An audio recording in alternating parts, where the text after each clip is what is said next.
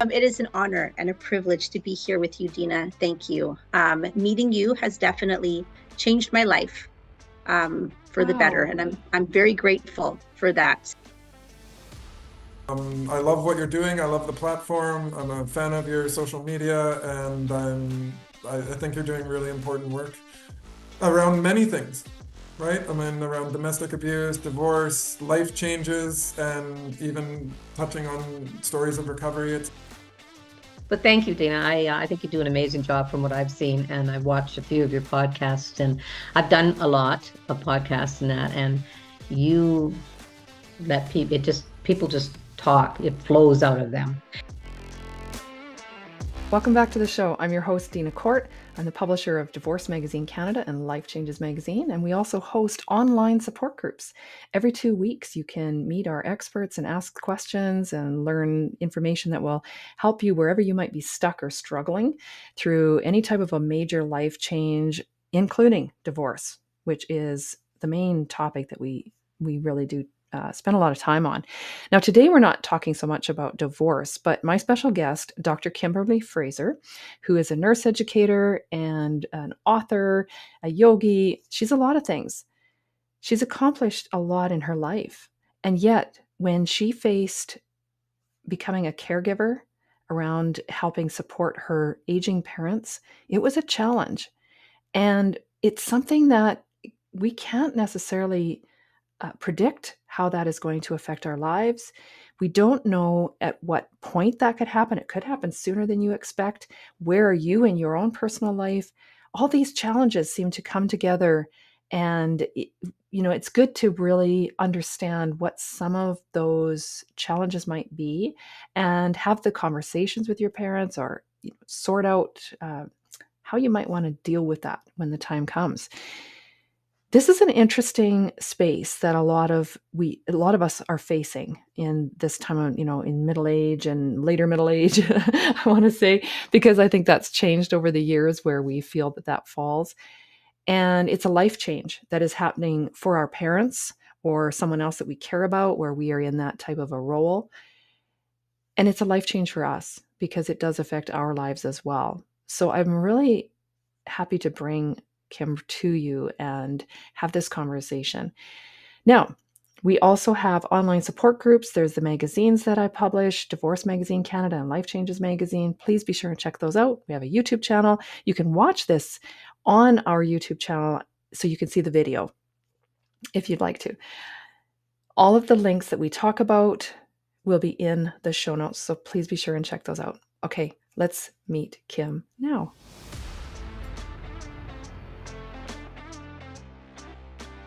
I'm really excited to bring to you a friend of mine who has done some amazing work in her life and she keeps feeling called to to go down other paths and other routes and she's going to share with you today some of the wisdom that she's gained in life and of what she offers to help support you as well and there's some significant life changes that you've experienced kim. Welcome to the show. Thank you for being here and sharing what you've learned so far and where we can find more of that, um, like in your book, for instance. Welcome. Great. well, us... thanks for having me. Oh, it's my pleasure. Please tell us what brought you to where you are now and pursuing the work that you are pursuing because you've you've definitely specialized we we both come from i'm gonna here's a little um, hint for everybody we both came from nursing backgrounds but what kim has done and she's taken this she's taken this to next levels. Well, thanks, Dina. And I didn't realize you came from from a nursing background, so that'll be a conversation for someday. Yes, but well, and that's the beauty of nursing, I, I guess. Uh, nursing is definitely my foundation, and without that, I'm not sure that I'd be here. So I'll preface my life with that. So yeah, I've been a nurse entrepreneur, which is really unique. I have always blazed my own path and uh, did not ever have a traditional uh, nursing career or trajectory. And I certainly didn't ever ever have it all planned out. Um, but I am a planner and I set goals and I work very hard but I like to think I leave capacity to embrace the unknown or those little things that come up along the way. And so, um, after nursing entrepreneurship, running a very large home healthcare company, one of the largest in Canada, um, actually, and we sold it in 2014 or 15 with 500 staff. So certainly learned lots of challenges along the way. Before we sold it, I my husband is my business partner and I just I've always been a teacher at heart and I previously taught nursing prior to my entrepreneurship days and so went back and did a PhD in nursing. My master's is in health education and health promotion. So I've always been interested in health and well being. And I just had this strong tie to go back and do a PhD and become a nurse researcher. So, with the big support of my husband, I did that and stayed at the U of A and retired from that career I guess I was a professor, um, a tenured professor for about 10 years and retired, but kept teaching at Athabasca. I retired and I left early, one would say. I loved my job. I've loved every aspect of my nursing career. Um, but I always took on a change because of a bigger dream, I guess. And my research was in home care, aging, aging well, health policy, and family caregiving. And I believed while my work was important, the only people really accessing it were academics, nursing students, those kinds of things until we get out in the world and translate that knowledge for the larger public. And my PhD and a large part of my research is embedded in knowledge translation, evidence based decision making, and evidence based policy. But if the people I want to reach don't know about the work I've been doing and what the research is saying, why would I think that they would use it? And I believed family caregivers. I love health systems research and work, but I love supporting individuals on a one on one basis the most. That's what gives me the greatest personal satisfaction. So I retired early to write my book, The Accidental Caregiver, and we can i'm sure you'll have links afterward where people yes. can find that it's available broadly at any bookstore um, and then i went on to write something called the care book which is um, uh, a, a, workbook that people can work through their own um, their own case and essentially build their own care plan in the home and keep it handy and they can have it in a binder or they can have it in this little workbook but that's kind of where i went and did i do this alone no I actually took a master's in a master's degree in creative nonfiction at King's University out in Halifax. It's King's is affiliated with Dalhousie. And that's one of my alma maters for both my um, undergrad nursing degree and my master's in health ed and promotion. So I have lots of academic articles. I have about a hundred peer-reviewed publications and book chapters and academic presses, but I did not know how to write a book. So I loved learning. I went back to school. So, yes, lots of life changes. So I'll leave it at that. What really resonates with me, Kim, is that you not only love to teach, you love to learn. Mm-hmm. And it really shows how that lights you up. What is so beautiful about all of this, it's culminated in a very practical, tangible piece of work well two pieces of work that you mm. just demonstrated that help the the the people out there that are really struggling on a day-to-day basis and don't know where to turn don't know and, and i love the title an accidental caregiver you don't necessarily anticipate that that is going to be a role you'll play in the future for mm-hmm. a family member or a loved one somebody you care about mm-hmm. and that you've given these them these tools that they can even the the workbook that they can take and use to mm-hmm. be the best caregiver understand they aren't alone and that this is a life change that they are now supporting someone through and if they feel supported as they support others everyone comes out of this in a better way mm-hmm. um, it, it's more of a gift than a burden that they are offering Mm-hmm. That's just my view of of what I'm feeling your mission is with this work. Absolutely. There's definitely um, an upside to caregiving. Those of us who have been a family caregiver um, develop a very up close and personal relationship with family or friends.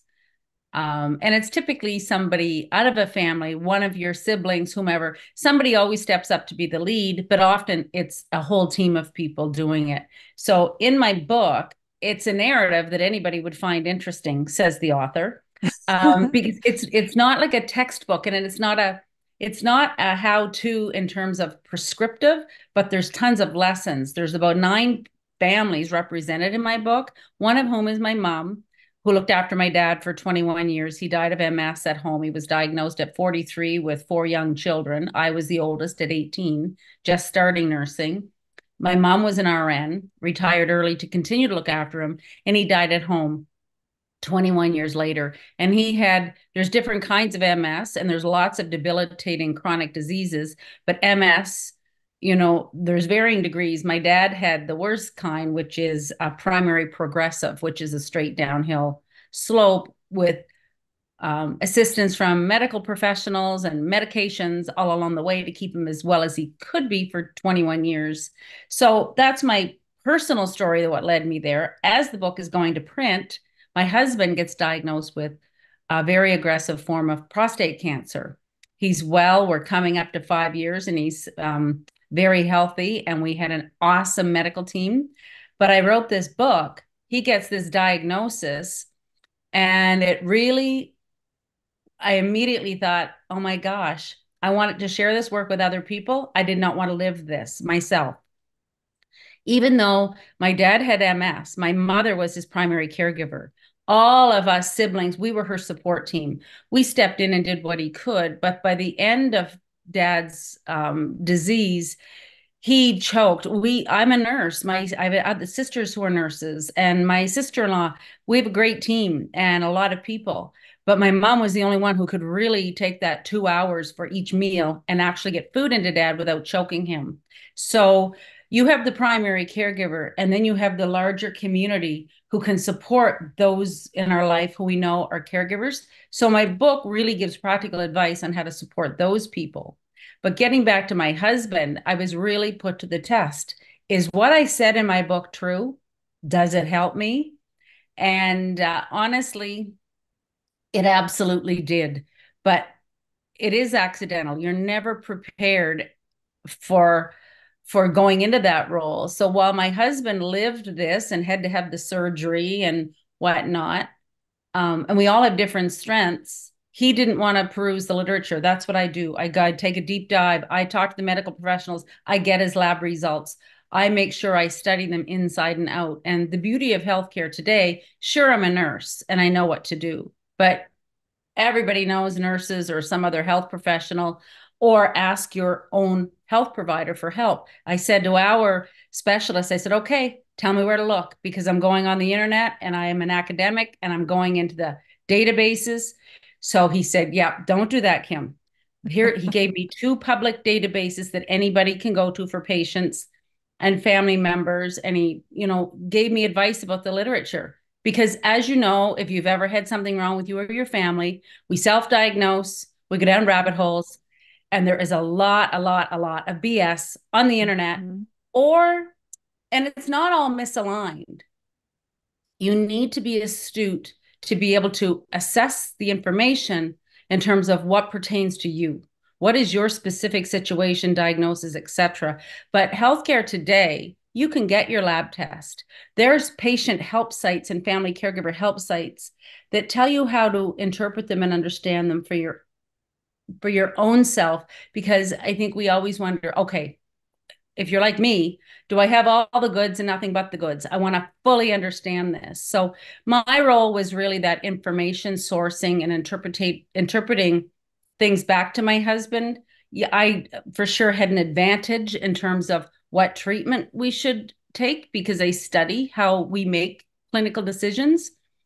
But anybody can learn that, and your health professionals will help you. But that's in layman's terms, told from the perspective of family members. And yes, there's an afterword in my book about my husband's and my journey, um, even in how to tell our 19 year old son at the time. And then you think about, oh my gosh, this is so hereditary. What are my son's chances? How do we interpret this for him? So my story is the last bit in this book. And I don't know. Serendipity is amazing.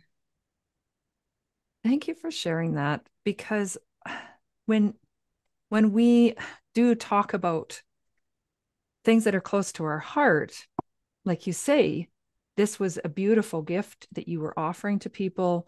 This was close to your heart to take care of people in this way by offering insights you'd gained from research you'd done, but put it in the hands of the people who really needed it, not just the ones that were curious to learn more about it. And then when you experience, it's like, whoa, wait, um, I'm mm, not really, why me?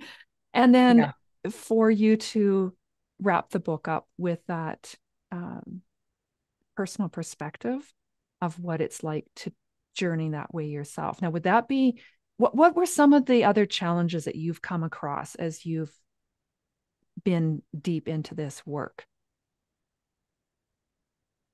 Um well, writing a book, I, you're an author. Uh, so I left my career that I loved, which I still have a baby toe in teaching health policy at Athabasca. And I can't say that I will never go back to academia, but I left to live a more creative life. I wanted to do more yoga. I'm, if you saw the room I'm in, I'm in my studio. It looks nice and tidy behind me. It's where I do my yoga and my Zoom yoga classes. Um, but I have my writing studio on that end. I've got my sewing machine right behind my laptop. So I'm very much a creative. I do lots of crazy things.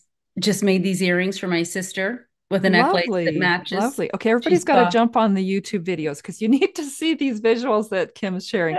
Um, so yeah, so the are those are those ways that have now i'm good sorry i'm going to jump in here because mm. are those are those things that you found help keep you you grounded to help help you deal with whether it was your husband's health or the transitions that you faced and then the challenges that you're going to share yeah absolutely I, we all need creative outlets and even through the thick of family caregiving you or or any major change whether it's divorce adopting a new child into your family a pet dying uh, changing jobs either um, on your own terms or forced upon you there are significant life changes. And i personally have come to know with all my heart and soul that you still need to protect you that inner inner you what makes you you and embrace that mostly maybe creative side go for a walk go out in nature.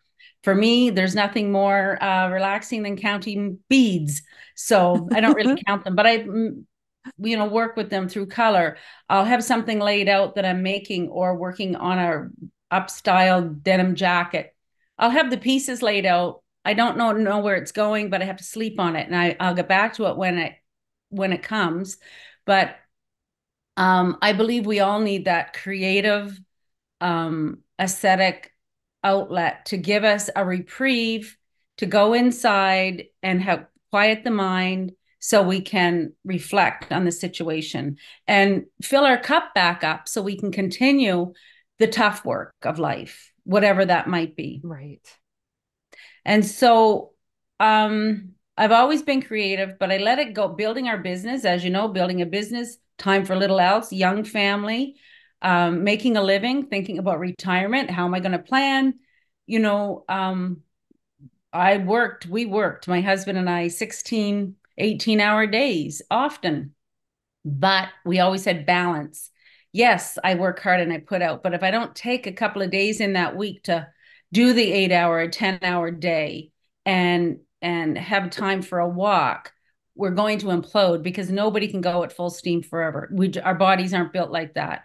So while I worked hard and I have an article coming out in an anthology um, about it's called Bad Artist, or that might not be the title now, but it's about how we create within the throes of life and I'm a great procrastinator but people would always ask me when do you do you sleep first they'd say do you sleep i'm like yeah i sleep great i i have about seven to eight hours of sleep every night.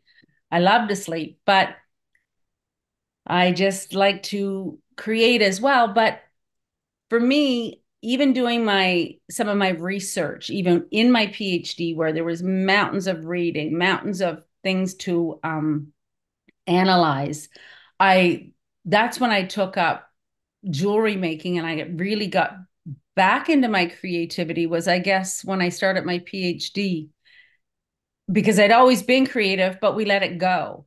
And one of my teachers said, if you don't let your creativity come out and whatever, maybe you're a baker, uh, maybe you like to read and think, you draw, who knows? We all have different ways we express our own personal creativity. Maybe it's styling clothing. Um, if we suppress that, we'll eventually get sick because we're not exercising that part of our body. And so, sick is a broad term in the way she right. said it. You know, mentally unwell, frustrated, angry, things will come out that we might not, we won't be our best self. And for me, that was true.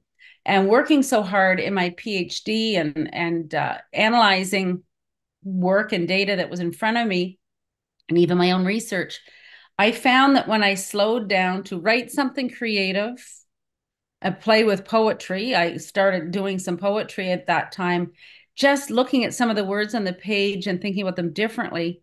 New insights come in. When I'm sitting making jewelry, new insights come in. When I can't figure out what looks good together or I'm not happy with the design, I leave it. I might go make supper or bake a cake or or go back to my research. You know, when we let things in, they come in, but we need room for that to come in. And that's part of that balance and letting things go.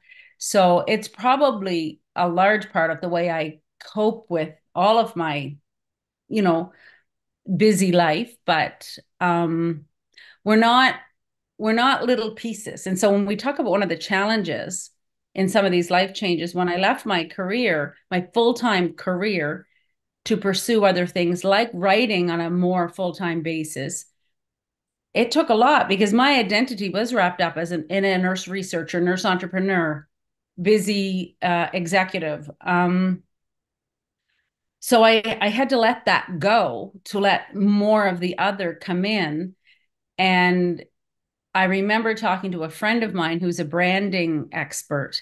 And I, I had a meeting with him. I'm like, okay, I don't want to be one of these women that go, that goes out to a networking event and gives people two, three, four business cards.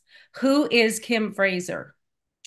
Because then, it, how do I trade? Like I was going to, you know, I was a yoga teacher and you know a writer, and I meld those two things together in practices. So who how do i so i've spent a lot of time figuring out what do i do do i still say kim fraser nurse you know so because i think that's really important that we know what our identity is because if we want people to interact with us or maybe hire us for that volunteer position on a board or support them in some way whether paid or not we have to know who we are so, how am I going to present myself to the world, no longer being that nurse executive or nurse researcher, or more than an author?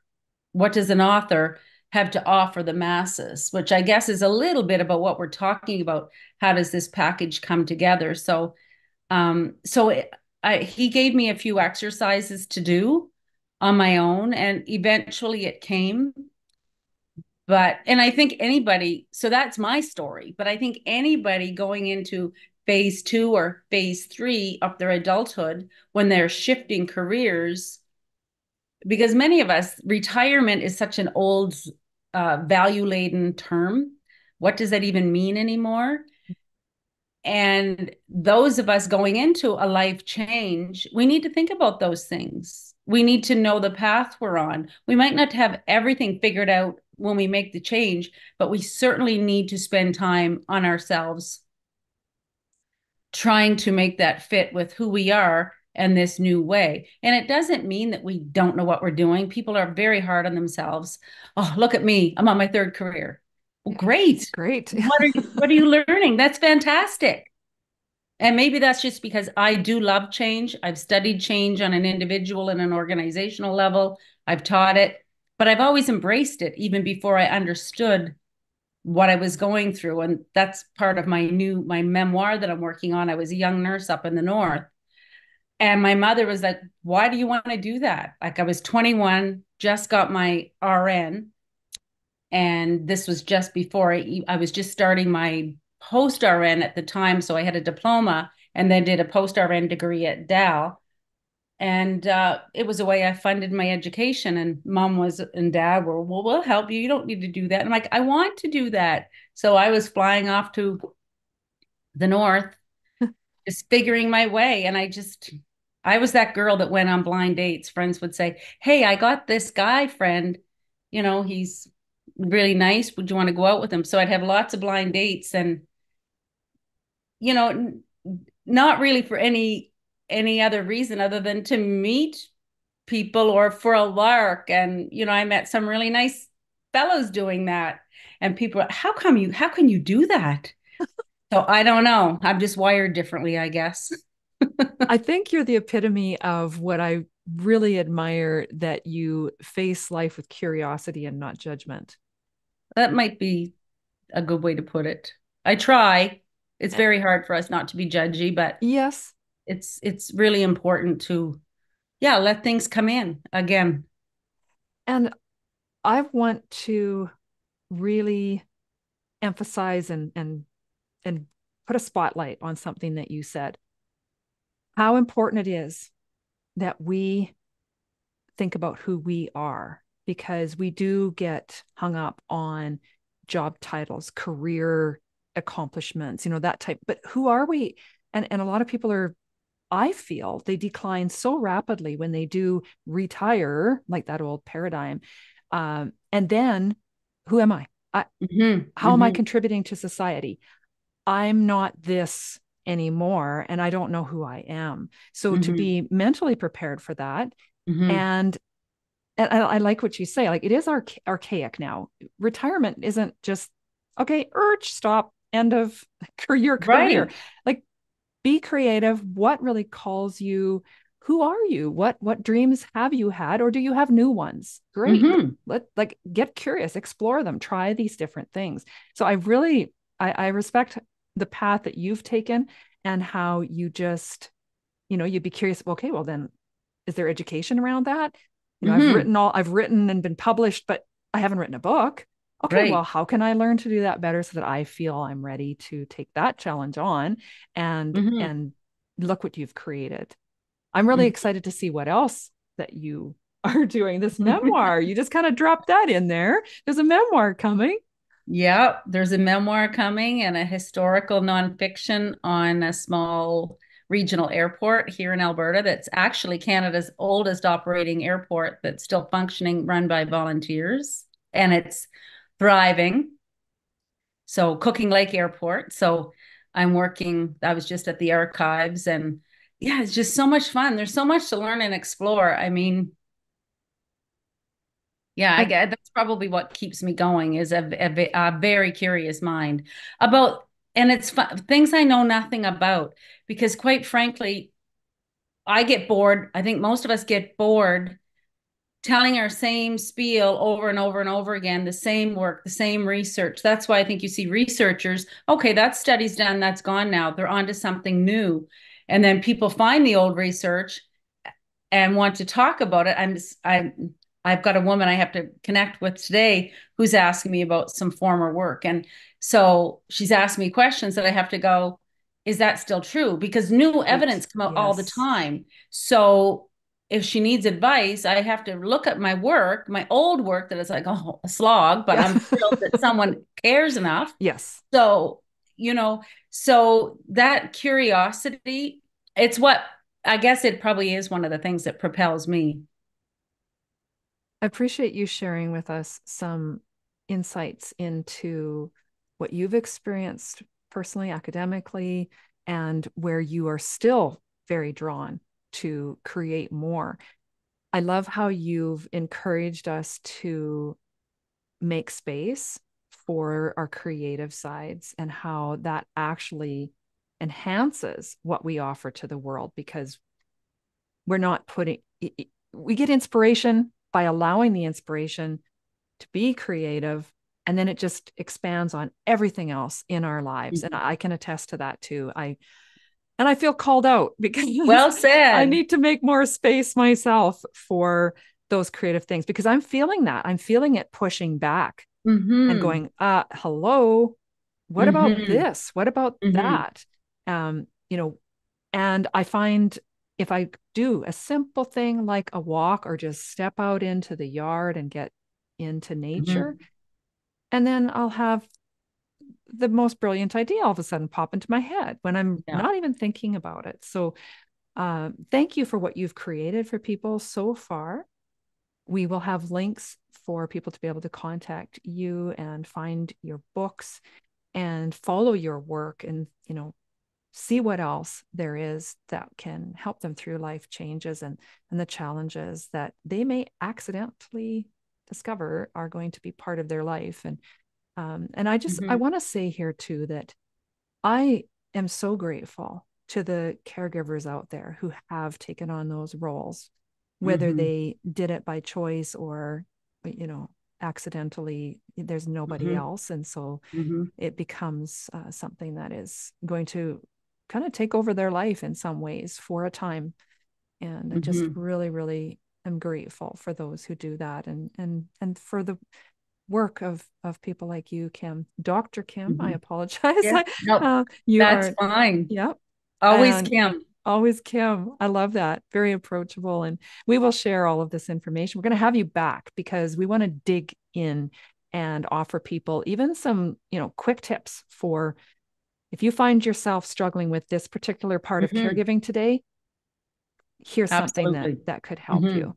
So Absolutely. I'd love that. Thank you so much. And yes, I'll share some links and and if people are feeling overwhelmed by something that we might have said in terms of it just dawned on me now, um, how do I slow down? How do I reflect? Sometimes people don't know how to even begin. Um, I do have some up and coming yoga classes that's yoga and journaling, self reflective coming up. So I'll share that afterward and maybe you can put it in your link through Park Yoga and Wellness in Sherwood Park at the end of May. So that might be something if people are overwhelmed and thinking, I don't even know where to start, it's a session that can help quiet the mind, tap into the body, and give you some time to reflect and get things on paper. Um, you know, and everybody's experience will be different, but it will be guided. So we Ooh, can, and we sounds, could do a session that on that someday. yes. Yes, that would be fun. We could actually do an episode that mm-hmm. people could listen to and do in their homes at, on their own time. Absolutely.